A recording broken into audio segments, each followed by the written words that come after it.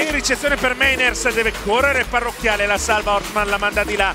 Ci sarà una free ball per Conegliano Silla Gennari all'indietro dai Goonu in parallela sopra il muro.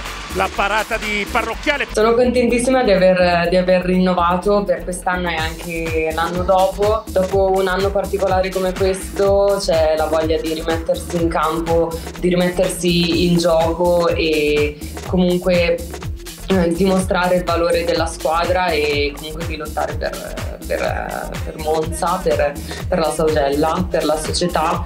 E mm, sotto un punto di vista personale è comunque importante perché comunque sì, come, come, come si sa ci sono le, le, Olimpiadi che sono comunque un, un sogno e si lavora per comunque cercare di arrivarci. Personalmente dal punto di vista tecnico nella prossima stagione eh, vorrei puntare ad essere il più continua possibile, non solamente in un, in un campo che riguarda il mio ruolo, ma eh, essere comunque un punto di riferimento di, di sicurezza per le mie compagne in, in tutti i fondamentali.